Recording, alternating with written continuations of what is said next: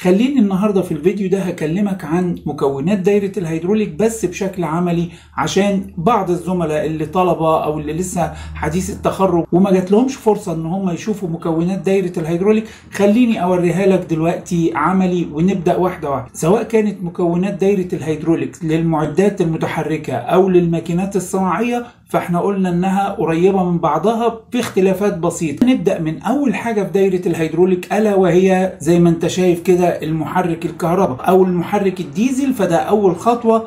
وطبعا مش معقول هجيب لك محرك ديزل أو كهرباء عشان أشيلهم لك. لكن خلينا نبدأ بقى من المكونات والتي تبدأ بعد المحرك الكهرباء على طول أو المحرك الديزل بالمضخة الهيدروليكية. ودي زي ما قلنا الطلمبة اللي مسؤولة عن عملية سحب الزيت من الخزان وضخه إلى الدائرة الهيدروليكية. طيب أعرفها إزاي أو أعرف تفاصيلها؟ هي عموما بيبقى لها عمود الشافت بتاعها والوش اللي هيثبت بعد كده يا إما على موتور الكهرباء أو على الموتور الديزل وطبعا أهم حاجة فيها بعد كده فتحتين السحب والطرد.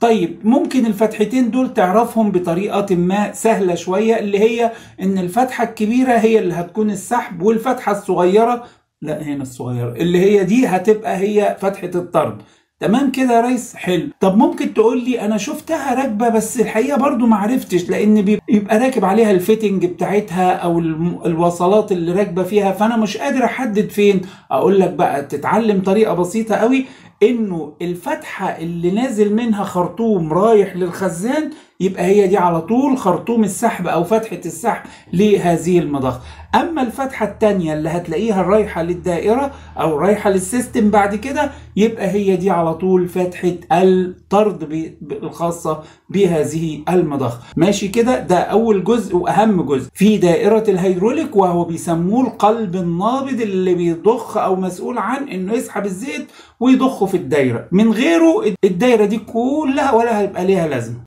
والمضخات دي ممكن تختلف على حسب mechanism بتاع تشغيلها اللي هو آلية أو طريقة تشغيلها من جوه فممكن تبقى الثلاث أنواع المشهورين اللي هي ترسية أو بستمية أو ريشية اللي هي gear pump أو بيست أو vane pump أو piston pump. ده كده بالنسبة للمضخة الهيدروليكية نيجي بقى بعد كده إلى الجزء الثاني على طول اللي يبقى بعد المضخة ولازم تاخد بالك منه وقلنا بيبقى موجود إيه هو؟ ها؟ اوعى تنسى.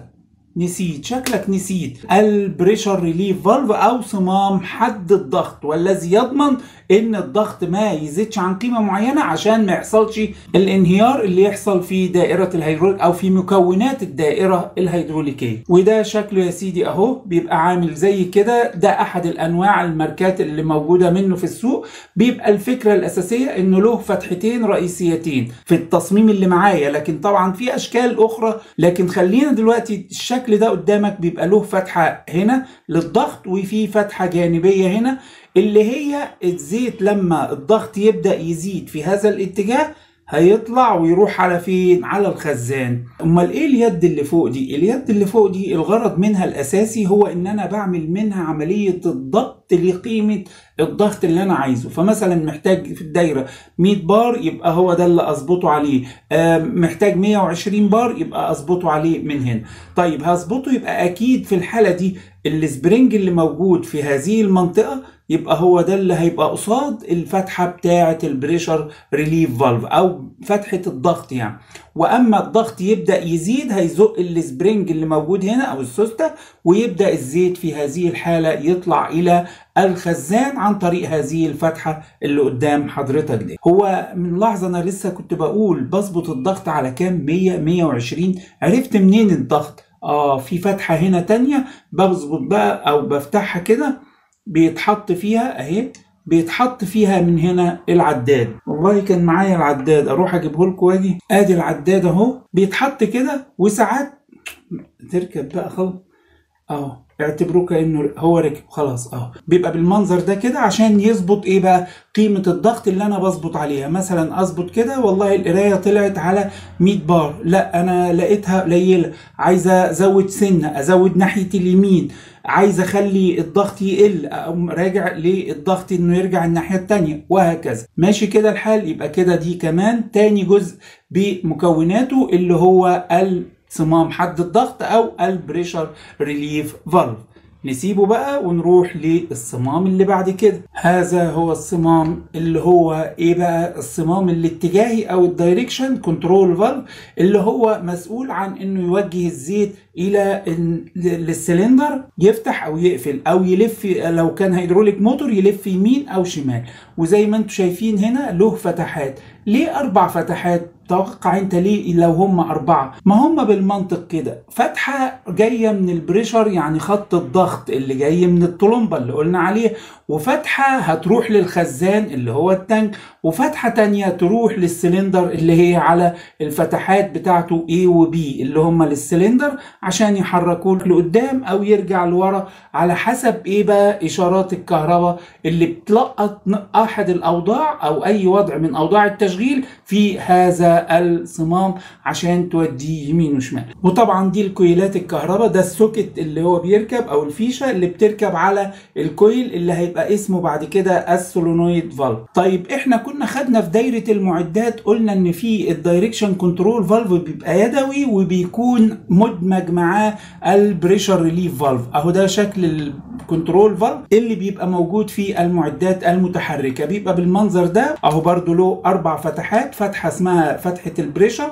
اللي هي بتبقى جنب ال relief على طول عشان لو ما لقيتش الكتابة عليها تعرفها منين. أدي ال relief وأنا بظبط برضو الرجلاش بتاعه من الناحية دي. والناحية اللي هنا دي الخزان أو ال tank اللي رايحة لل tank والفتحتين اللي من فوق اللي هم A و B دولت اللي هيروحوا على السلندر. اللي هيتحرك يطلع أو يرجع.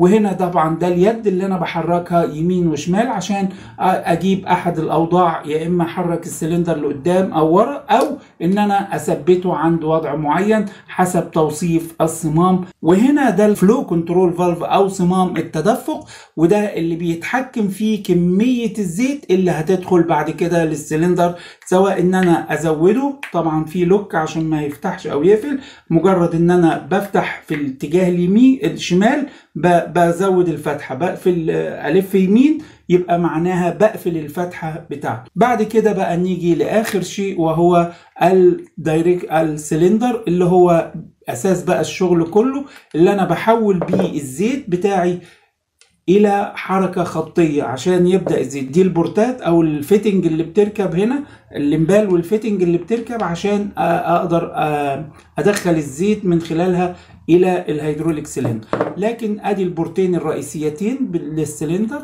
وطبعا دي ناحية تثبيت ودي ناحية هنا اللي بيطلع منها العمود أو ال rod بتاع هذا السلندر ودي الجوايط أو المسامير اللي هي بتبقى عاملة له رباط عشان تربط اجزائه مع بعضها. دي كده باختصار جولة سريعة في المكونات الأساسية لدايرة الهيدروليك. طبعا واحد قاعد دلوقتي متنمر وعمال يقول لي أنا بقى بص أنا سايبك بقالك حلقة أو اتنين عمال تقول مكونات الهيدروليك. أمال فين يا عم الخزان؟ وفين الفلاتر؟ وفين الزيوت؟ وفين الحاجات دي كلها؟ ما جبت السيرة ليه؟ أقول لك. آه معاك حق. هذه الأجزاء على الرغم من أهميتها إلا إن معظم الشركات بتحطها لك في حاجة اسمها الأكسسوارز أو الملحقات الخاصة بدايرة الهيدروليك. بتبقى موجودة في دائره الهيدروليك أو مع الأجزاء اللي مكملة لدايرة الهيدروليك. حط بقى معاها ال level gauge أو ال pressure gauge أو ال breather منفس أو الفلاتر السحب والراجع والطرد إلى آخر هذه المكونات. وبكده يبقى خدنا فكرة عامة عن المكونات الأساسية لدايرة الهيدروليك سواء في المعدات أو في الماكينات بشكل عام وبشكل سريع. فاضل بقى من حضرتك إنك تكتب لي هذه المكونات في التعليقات. اكتب لي كده دائرة الهيدروليك الأساسية اللي إحنا اتفقنا عليها عشان أبص لك عليها وراجعها. اوعى بقى تنسى وبرضه نيجي لأم الكلمة اللي اياها دي. لو عايز تتعلم وتستمتع بالهيدروليك تابع معايا في الفيديوهات اللي فاتت عشان تعرف بقية الجملة بدل ما أقعد أعيدها لك تاني سلام.